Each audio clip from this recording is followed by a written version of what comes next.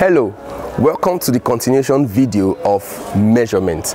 And um, today, or on this episode, we are actually going to be talking about dimension analysis in physics. And uh, within a few minutes, we should be done with this because this is not um, a difficult topic at all. I just need to tell you what you need to know about dimension analysis and how to go about solving questions under dimension analysis. Um, dimension analysis is uh, basically um, representing the base unit in physics um, with some um, um, letters and um, that is breaking down a particular physical quantity, the unit of a particular physical quantity in such a way that once you arrive at your base unit represented with the following letters I'm going to be giving you on the board. So once you arrive at your mass, once you arrive at your mass, you represent it with what? With a capital M. Once you arrive at length, once you arrive at length or distance or anything related to um, distance, you represent it with capital L. Once you arrive at um, time, you represent it what? With capital T. And once you arrive at temperature, once you arrive at temperature, you represent it with what? You represent it with um, um, theta or K depending on which one you are comfortable with. And if it is um, an obj an objective question you have to check the the um, the options. If you see theta that means you are going to work with theta. And if you see k that simply means you are going to work with k. Now let us take few examples and arrive at the dimension um, their dimensions and um, see how it goes. So please take note of this. Mass capital m length capital L, time, capital T, and temperature, theta or K. Then one other thing that you should take note of on that dimension is that um, all numbers, all numbers, numbers that is, um, let's say, um, one, two, three, four, whatever, have a dimension of what? Of one.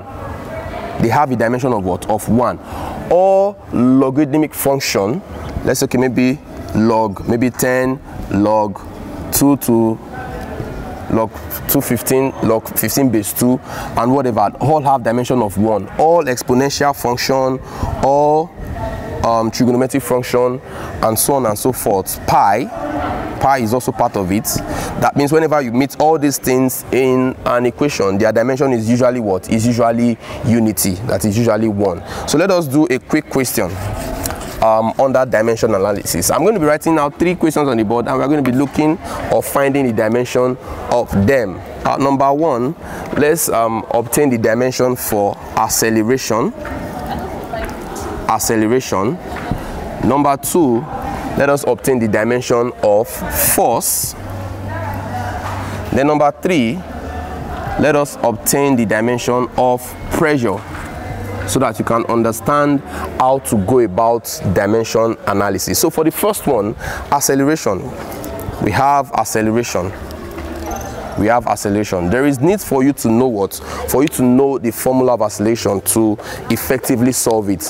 What is acceleration? Acceleration is simply the change in velocity per what? Per unit time. So I have my acceleration to be equal to what? Um, change in velocity over what? Over time isn't it? So and of course you also know that velocity is what? Is displacement over time. So velocity is displacement over what? Over time. And you know that we already have a time here initially. So that simply means i can say my acceleration is displacement over time time. So what did i tell you about dimension? I said whenever you see anything that is related with distance which is d you represent with what? You represent with l capital l. Then whenever you arrive at um, time you represent what? With capital T. And I have two time at the denominator that is time multiplied by time. So that means I have capital T multiplied by what? Capital T. So that simply means that I have my L over what? Over T square. So if I want to write it in a linear form I'm going to have the dimension of acceleration to be what? To be L T minus 2 simple. Now let us quickly find the dimension of what? Of force. So for the second one i have what? I have force. Now what is force? Force is actually equals to mass times acceleration. So my force equals to what? Mass times what? Times acceleration. Now what is the dimension for mass? I said you represent it with what? With capital m. So that means i have a capital m here uh, multiplied by we already have the dimension of acceleration here to be L over T square. So that simply means that I have this to be L over what? Over T square. So if I'm to write this linearly, that means my dimension for force will be M L T minus 2 as simple as that so let us do for the last one which is pressure if i want to find the dimension of pressure the first thing for you to do is know the formula for what for pressure is know the formula for pressure. Now what is pressure? Pressure is what is force per unit area. So pressure is what is force divided by area, force per unit area. land. let me break this down so that it won't um, really confuse you. So I can write this as what? As force times 1 over area of course definitely i've not committed any error i just splitted the area so that you can understand what i want to analyze now we already know the units the dimension of force to be ml all over t square so i have this to be what to be ml divided by what divided by t square now what is area? Area is what? Is length times breadth. Length is distance. Breadth is also distance. So that means i have length times length. So my area is what? Is one all over what? All over l square. Is that taken? So of course this l we cancel one of this l. So that means i have one l at the denominator. So that simply means that this will give me m divided by L T square. So if I'm to write it in a linear form, the dimension of my pressure is going to be what? It's going to be M L minus 1 T minus 2. ml minus 1 t minus 2 now um, let me quickly also give the dimension of um, two quantities that um, usually gets physics students confused and and um, that is simply the dimension of gravitational constant g. Uh, let us solve two more examples. Um, the first example we are going to solve now is what is the dimension of gravitational gravitational constant gravitational constant g and two we are going to find the dimension of what? Of what i call energy density. Energy density. So after solving these two dimensions just i'm just going to say one or two things then i'll give you and uh, some drill to carry out.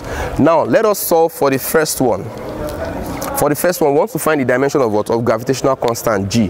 Of course, you know that from Newton's law of universal gravitation, the force of attraction between two bodies is directly proportional to the product of their masses and inversely proportional to the square of the distance between them. It is also called the inverse square law. So from what I said just now, I said um, F is directly proportional to what? To M1 m2 over what? Over r square.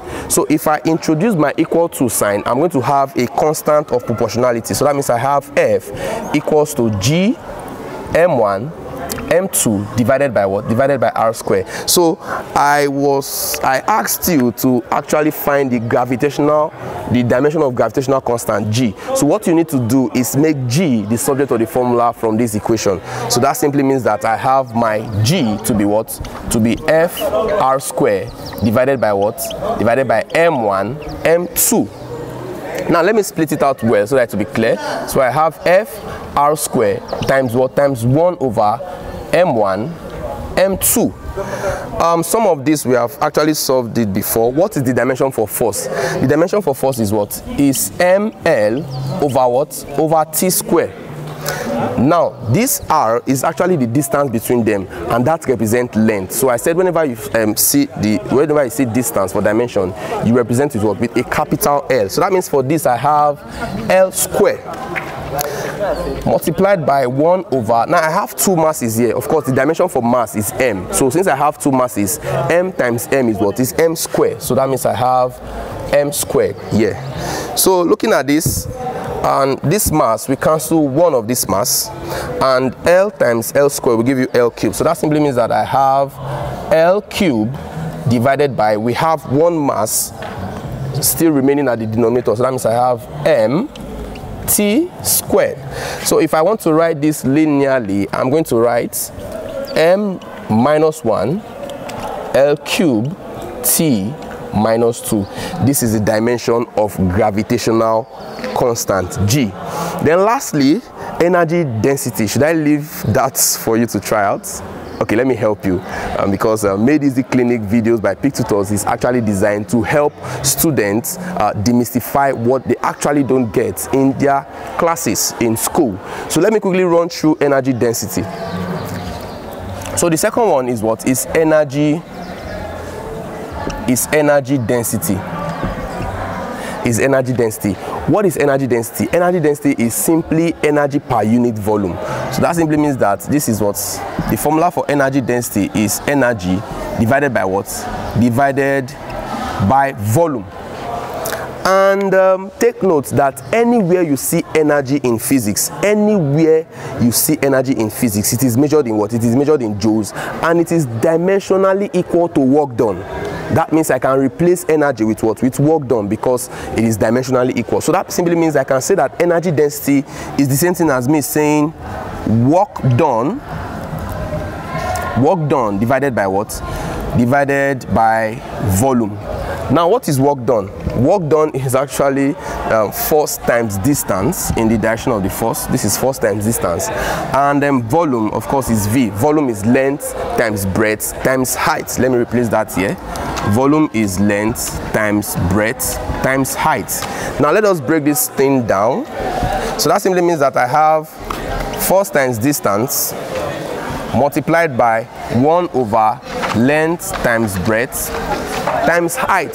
So what is the dimension for force? The dimension for force is ml all over t square. So i have ml over t square multiplied by what? Multiplied by distance. Distance is what? Is length. So you represent it with capital l times. Now i have one over volume here. Length is length breadth is also length and height is also length. So represent it with what? With length times length times length which is l cube. So i have 1 divided by l cube. So this simply means that i have this to be ml square divided by t square times 1 over L cube. So that simply means that these two, we cancel two of these and it will remain one. So I have M over L t square. So if I want to write it on a linear form or in a linear form rather, I'm going to have what? I'm going to have M L minus 1 T um, minus 2. So with this basic analysis of what of um, analyzing dimension, we have come to the end of this video. Ensure that you carry out the examples or the questions that will be displayed on your screen immediately after the video.